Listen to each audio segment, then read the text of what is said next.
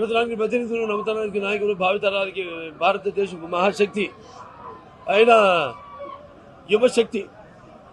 అంటే ఈ ఏదైతే లోకేష్ బాబు ఈ మన తెలుగుదేశం పార్టీ జాతీయ ప్రధాన కార్యదర్శి కార్యదర్శి లోకేష్ బాబు ఏదైతే ఈ యొక్క కార్యక్రమాన్ని మొదలుపెట్టారో ఈ యొక్క యువ గళం అన్నది. ఎందుకంటే ముఖ్యంగా యువతరానికి తెలుగుదేశం పార్టీ అధికారంలో ఉన్నప్పుడు చేసింది ఏమిటి? ఇప్పుడు జరుగుతుంది ఏంటి అన్న వాస్తవాలు తెలియపరచడానికి ఆయన ఈ క- కంకణ ఈ యొక్క కార్యక్రమాన్ని చేపట్టారు. చాలా అద్భుతంగా జరుగుతుంది. చాలా అనూహ్యమైన స్పందన ప్రజల నుంచి.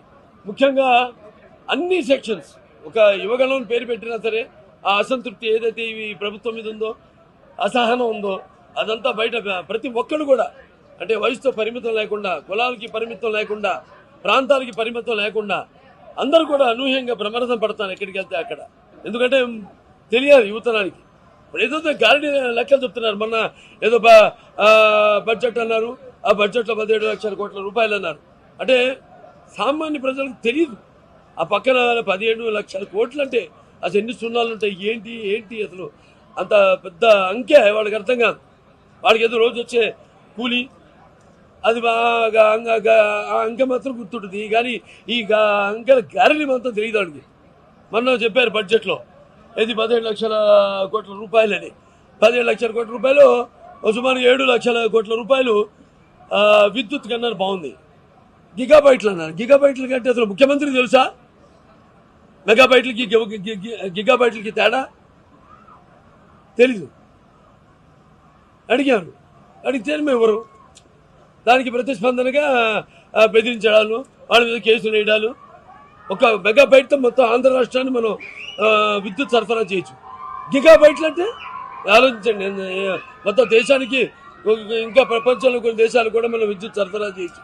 అంటే ఇప్పుడు దౌర్భాగ్య పరిస్థితుల్లో ఇవాళ వాళ్ళు ఇష్టం వచ్చిన అంకెలు కారడి. అంటే ప్రతిదీ కూడా అదే బసి బస్సు మారడి అని చేయడం అనేది ఒక అలవాటు అయిపోయింది. అలాగే కానీ వాళ్ళు చూస్తున్నాం మనం.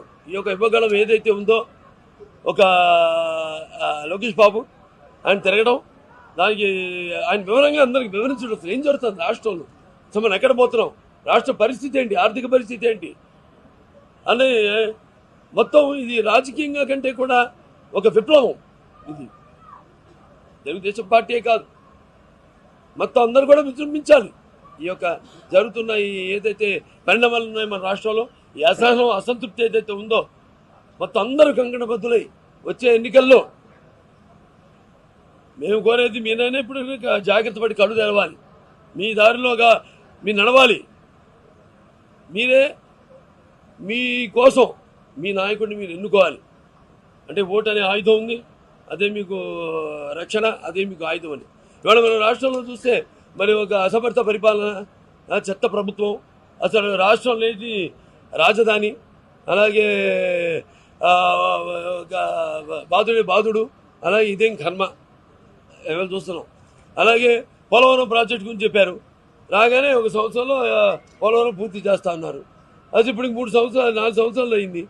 ఇప్పటిదాకా అసలు ఆ పోలవరం ఊసేత్తలేదు. దాని తర్వాత బడ్జెట్ అప్పులు.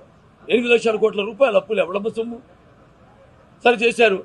దాంతో ఏదైనా జరిగిందా? ఏదైనా అభివృద్ధి జరిగిందా? అభివృద్ధి లేదు అభివృద్ధి లేదు ఏమీ లేదు. అంతా శూన్యం. దాని తర్వాత ఈ పరిశ్రమలు తీసుకురాలేదు ఇప్పటిదాకా ఒక్క పరిశ్రమ రాలేదు. ఎవరికి ఉద్యోగాలు లేవు. అందరూ కూడా వలసపోతున్నారు. అలాగే పేదవాళ్ళు. ఈ ముసలి వాళ్ళు ఉన్నారు వృద్ధులు ఆ, పింఛన్ రెండు లక్షల మందికి ఈ యొక్క ఏదైతే పెన్షన్ ఉందో దాన్ని ని- నిలిపేయడం జరిగింది. అలాగే ఈ దా ఇవాళ ప్రభుత్వ ఉద్యోగులు కూడా జీతాలు ఇవ్వలేని పరిస్థితుల్లో ఉన్నారు. అప్పులు రాకపోతే అసలు జీతాలు ఇవ్వలేని పరిస్థితుల్లో ఉంది ఈ ప్రభుత్వం. అలాగే మరి వాళ్ళ ఈ యొక్క మాఫియా ఏదో డ్రగ్స్ మాఫియా గంజాయిలో మన రాష్ట్రం మాత్రం నెంబర్ వన్ స్థానంలో ఉన్నాం.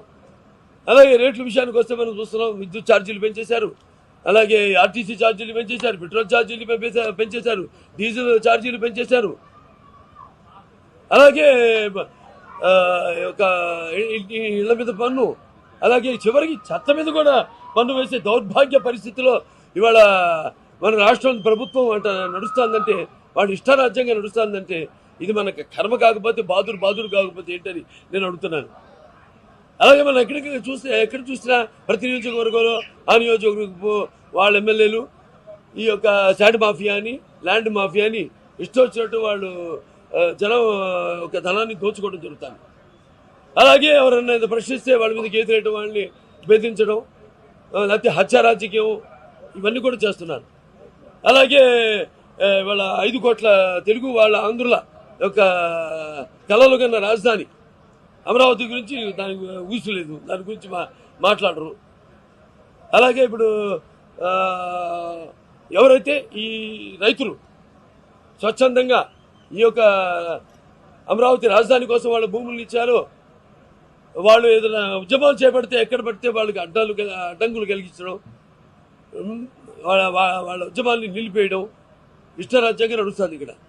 అలాగే కనీసం వాళ్ళు రైల్వే జోన్ తీసుకొస్తా ఉన్నారు దాంట్లో విఫలమయ్యారు. సరే మన ఆంధ్ర మన ఆంధ్ర రాష్ట్రానికి ప్రత్యేక హోదా తీసుకొస్తా ఉన్నారు అందులో విఫలమయ్యారు. కనీసం కేంద్రం నుంచి నిధులు కూడా రాబట్టుకోలేని పరిస్థితులు ఉంది వాళ్ళ రాష్ట్ర ప్రభుత్వం. ఇవన్నీ నిజా నిజాలు తెలియాలి జనానికి